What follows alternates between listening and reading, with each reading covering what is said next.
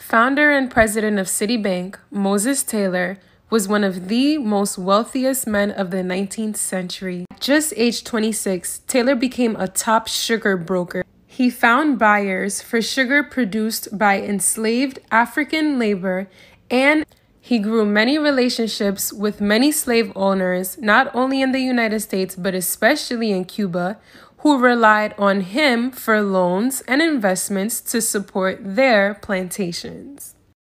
The money he made from interest on those loans and returns on those investments is what Moses Taylor used to establish and grow Citibank.